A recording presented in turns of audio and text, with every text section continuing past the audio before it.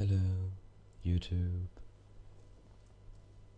and for those of you who are still with me, welcome back to a new video. Um, I'm trying something new, as you can see. My hands. So you can see and hopefully hear the keyboarding tractions um, while we do this. So,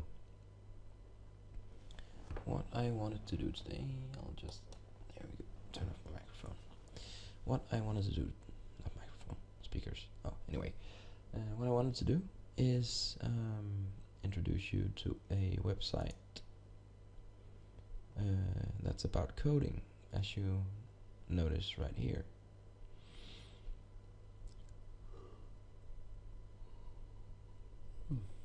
Excuse me. Um, yeah, it's called Codecademy. And for those of you who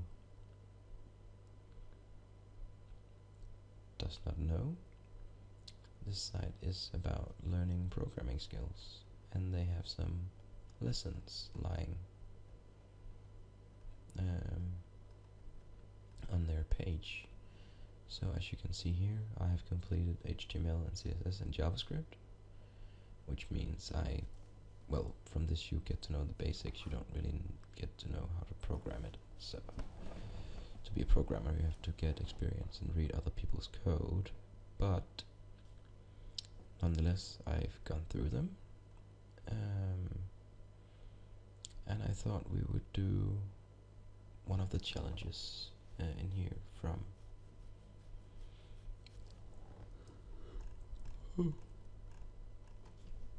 oh my.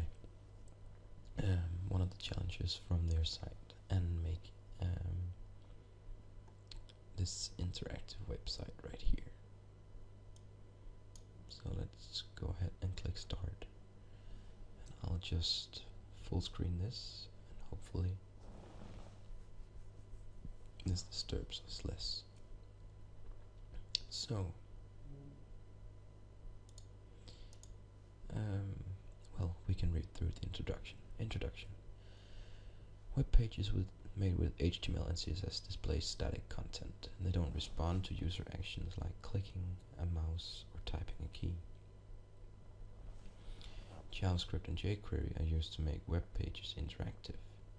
JavaScript is a programming language used to create web pages that change in response to user actions jQuery is a collection of pre-written JavaScript code that lets us easily create interactive effect effects on a site. Um, click on more in the navigation arrows in the web page content to the right. So we can see here this these arrows uh, makes our site interactive and my assumption is that we are going to make something similar. So, your first program. Click on Flipboard at the top of the web page. To the right, the web page has a drop down menu which shows and hides when you click Flipboard. And that is absolutely true. The interactions uh, the interaction is made with JavaScript and jQuery. Alright then.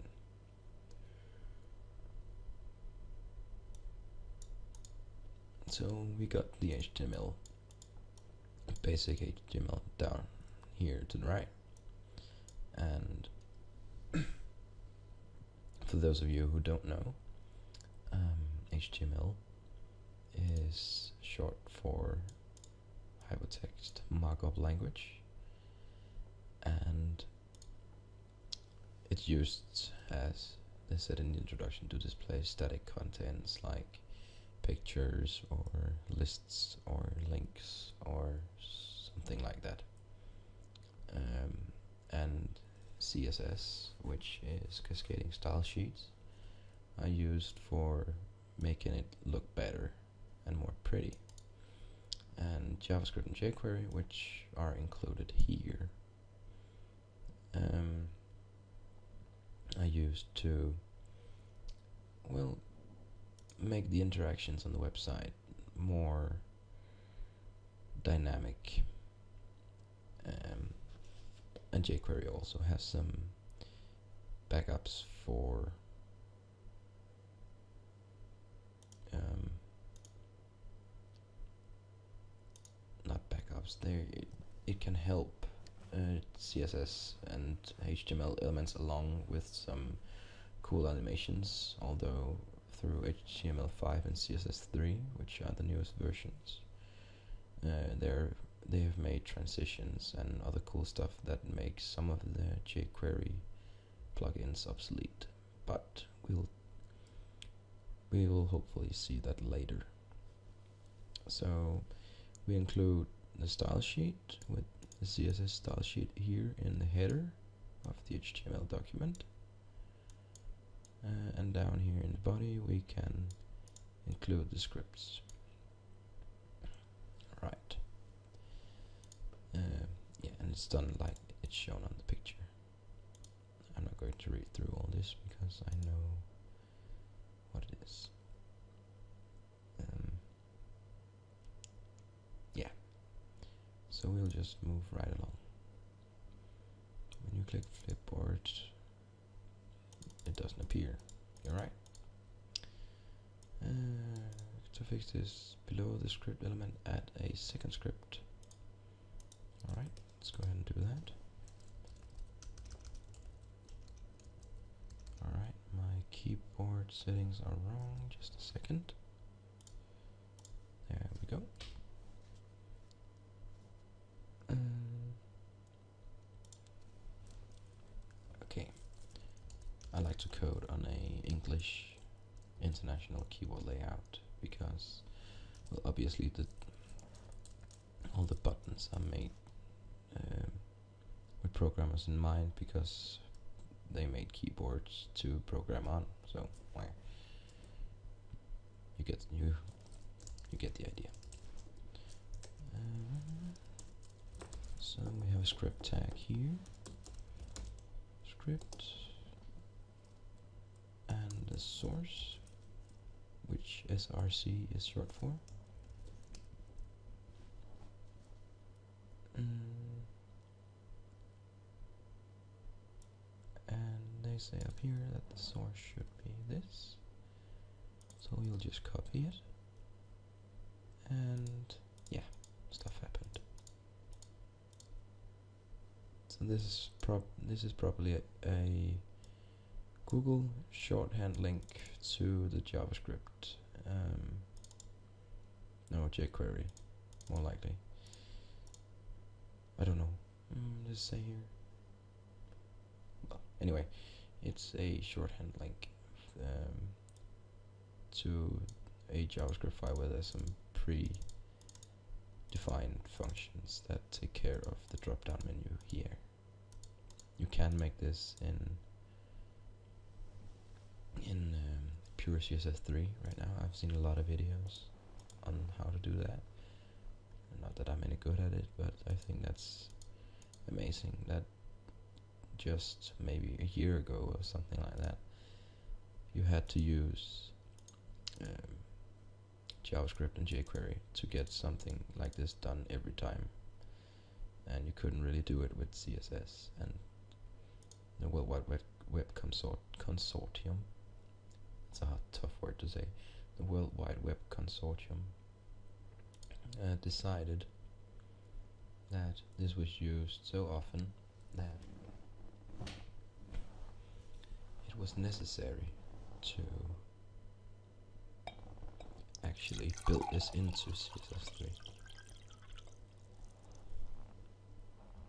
which I think is really really really neat just take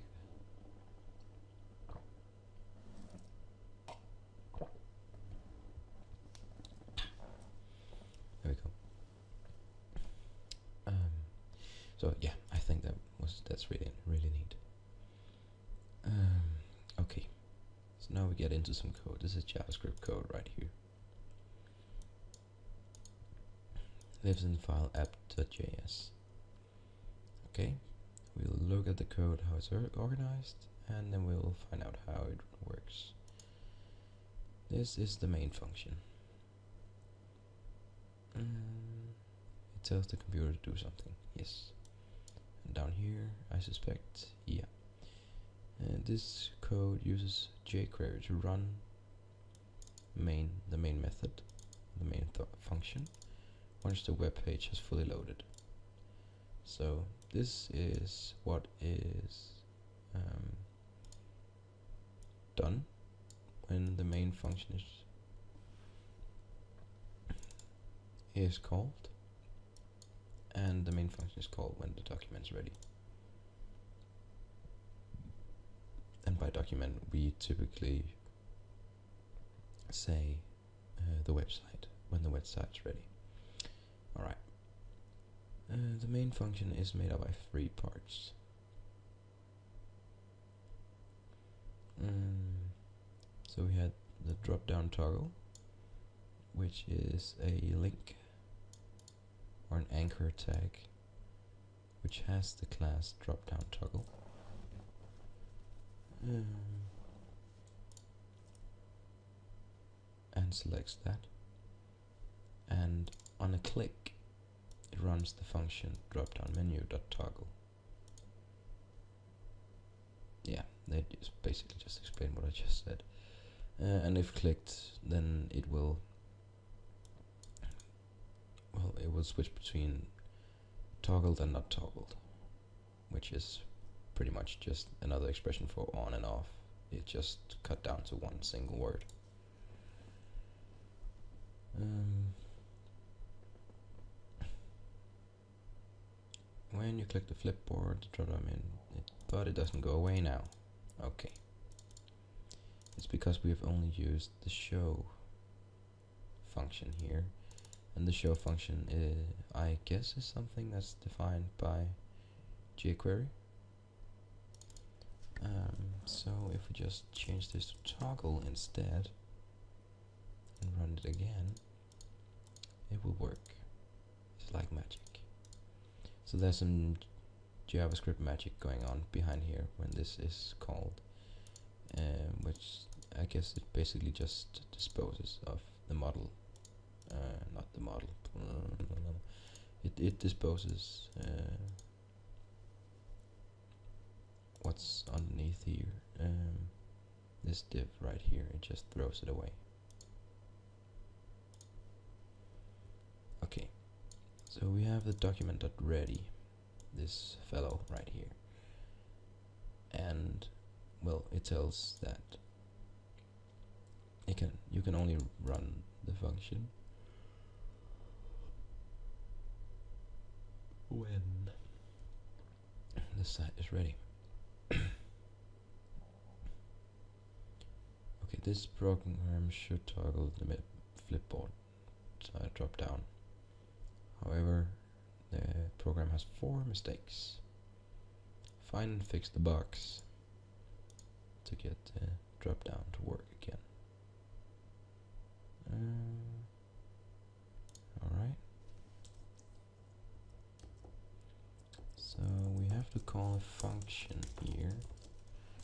First off, that's one. And the menu and the toggle are switched around. Two. I think, I'm not sure. we need the jQuery selected down here as three, and this one is closed I think. Ah, that is close. Okay, what's the last one? Um, we have function, drop down menu, drop down toggle. Does this origin from? Up there.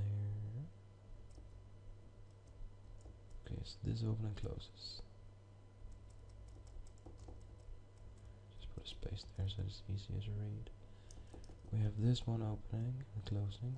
We have one open right now, two open, one open, one open. This takes care of that one. Yes, this takes care of that one. If any of you are programmers, don't don't be too harsh on me. I'm just learning. Hmm. I can't remember.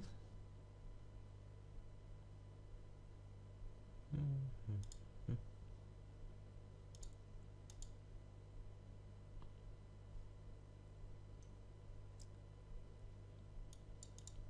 Function, we have toggle, we have menu. Oh, those weren't wrong. Of course they're not. Why am I? Uh, oh well. We have the click, we have the toggle. We have function, we have function, we have uh,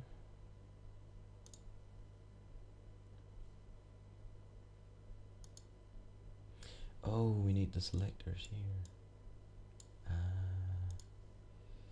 That's what's wrong. I just switched these back. That's caps lock. And oop. tool. Ah. Try again. There we go. Yay. Mm, jQuery allows the user to do three things on a web page.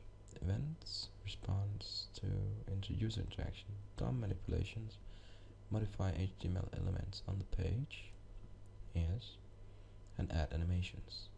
Cool. So, JavaScript is a programming language used to add interactivity to a web page. jQuery simply simplifies JavaScript syntax and makes it easier to build interactive web pages that work across multiple browsers. jQuery enables us to do three main things on a web page, and those three things I just read. We will see how each of these things, uh, how to do each of these things in the next section. Alright. Yay! Achievement. Okay, now we're in the core of um, Codecademy. So we have our editor here. We have what our site looks like here. Um, right now it's just a picture and this cool menu. Hmm. You should be able to click this and close this up again. Well, that's a design choice. Okay. Uh, up here we have our tabs with our, this is our page in HTML. So you can see here we have uh, some fonts apparently. Yeah, we have and another font that's Open Sans. And we have a style sheet which is this one. Um, we have some divs here. Uh, this div has a class called menu.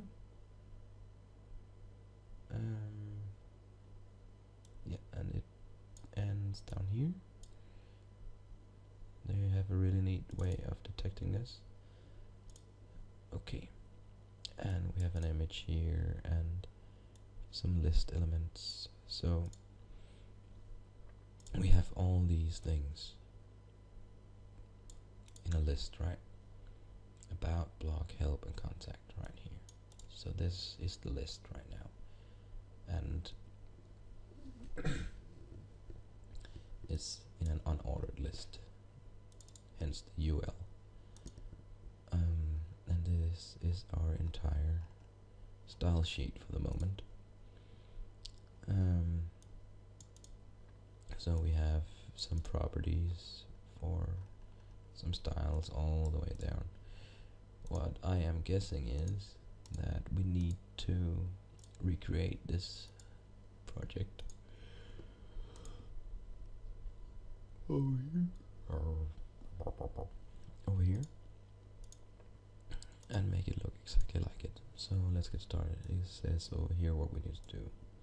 Click on the menu icon. We did that. Click on the X icon. We did that. Then click save and submit to get started. Okay let's hit the save and submit. Way to go. Next lesson. Alright. Now we only have the style sheet and the markup So right now, nothing happens when we press this. So, let's see what this wants us to do.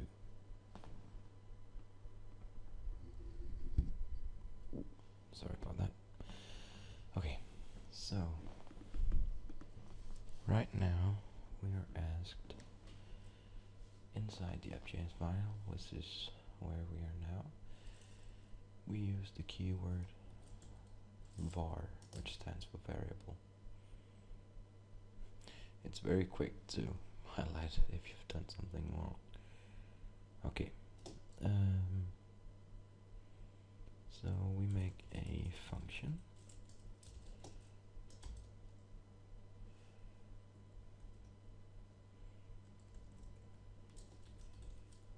Go, called main.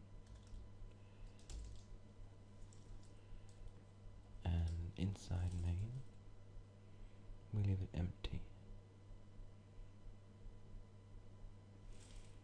Okay. And after the main function, we use a document dot what was it? Uh, I can't remember. Hmm. How video. Luckily, hmm, maybe the glossary can help us. So here we have the glossary. And what is it telling us? Do we have some jQuery in here?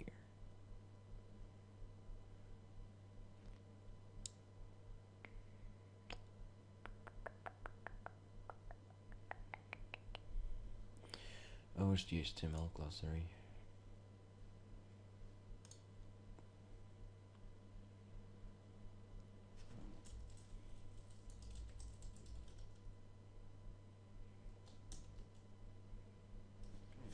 So we go in here and type J. Not much is happening, is there? But here it is. That's weird. Oh, well. We can get a hint down here. Dot ready. Ah. And this needs to be in parentheses. Think. Ready. Main. There we go. That should work. Yay, way to go. Okay. Inside the main function,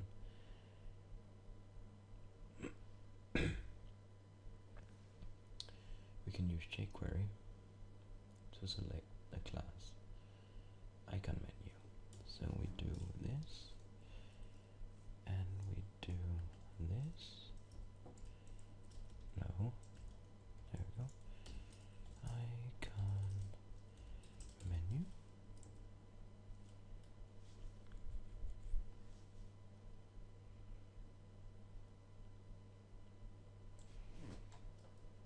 And just end it. And there we go. Okay. So we have the dot click notation here, which is an event listener that registers when something is clicked. So there we go. Moving along nicely. Okay. Inside the click one, we add a function. Just as we saw earlier. Going to re-indent it a bit. Okay. And it says select the menu class and animate it. Okay. So first off we select the menu class. Menu. Menu. Ah, menu. Rather.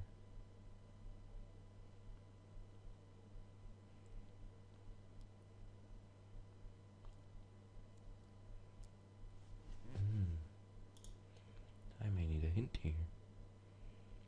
Okay, so we have a jQuery selector which is called animate. So let's use that. Whoops, there we go. Um, and inside here we have some brackets. There we go. Okay. So we want left the left property to be zero pixels. No, there we go. And adding a trailing comma after this. Mm.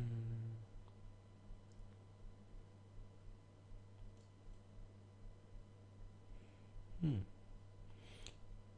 We can. Okay, this is a 200 milliseconds.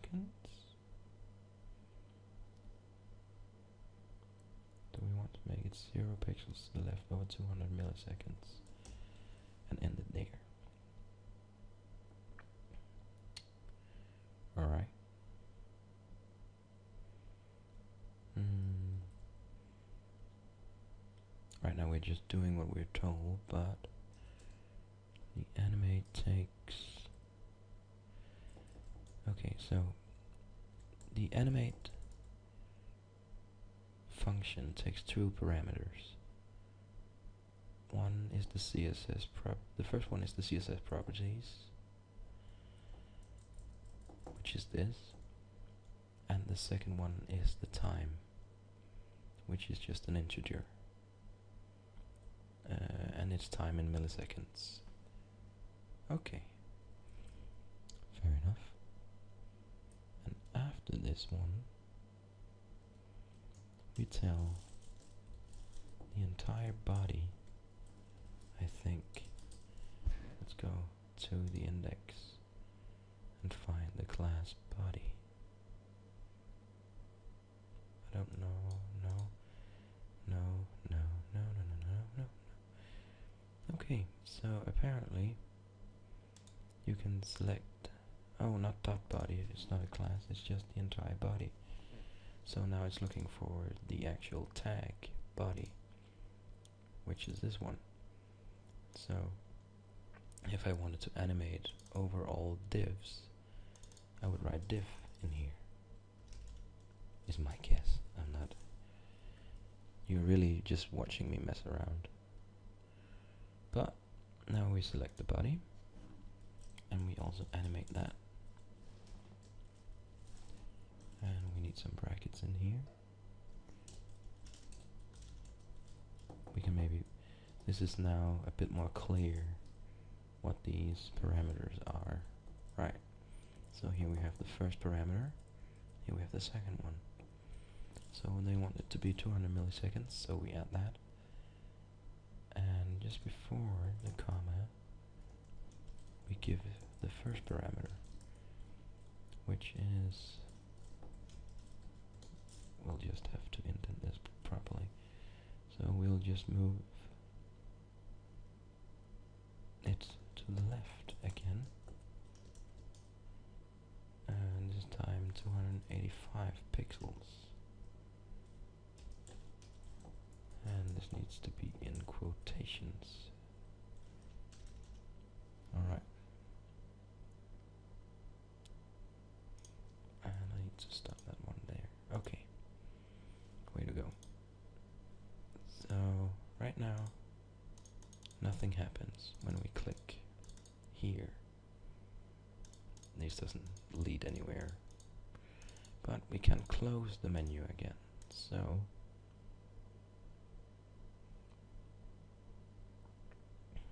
boom, boom, boom.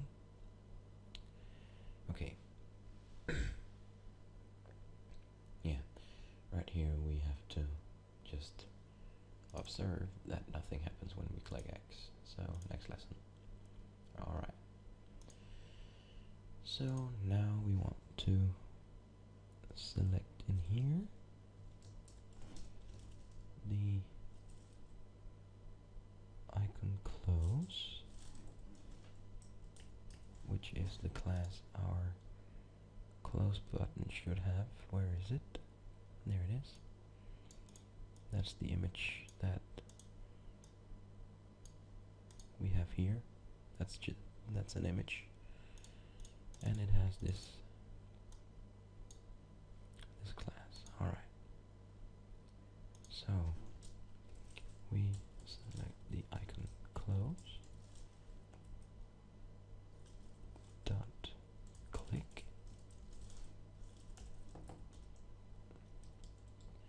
and in here we specify a function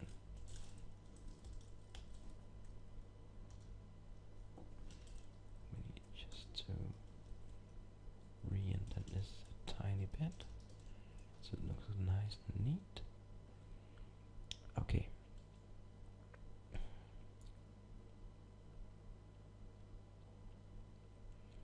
so when it's clicked, we select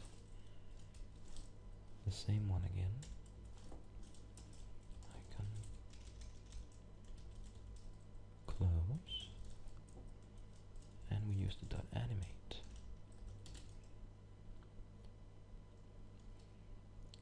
Um, selector in here once more, and it takes two parameters again.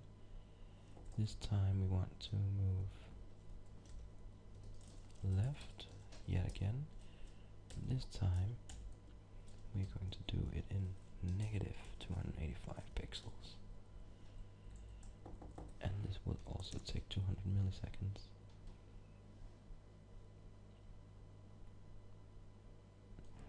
So this should work, but it. Curious.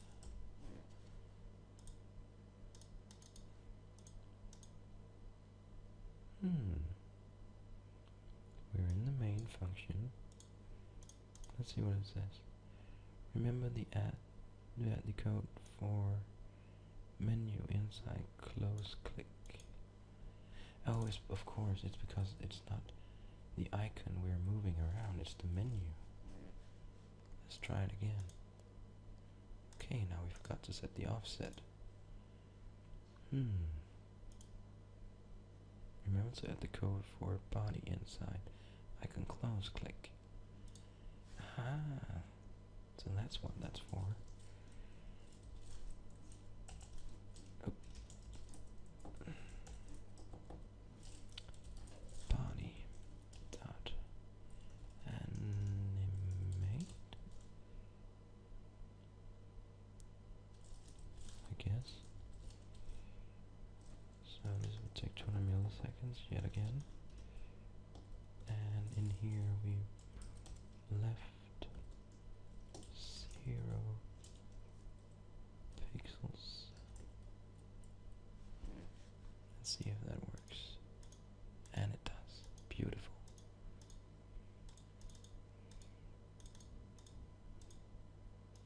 I would really like for this to also do the same as this, but I guess that's a design choice later on. Maybe we can do that. That would maybe be my next video, but let's start the next, next lesson. And it says congratulations.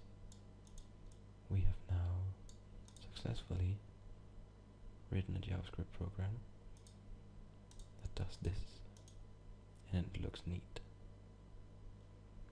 Save and submit. Congratulations, you've finished the course. And I think this will be a good place to stop. And I will pause this here, and next time I will move along in this project hope you have a good night. And I'm happy to make these videos yet again. So, sleep tight.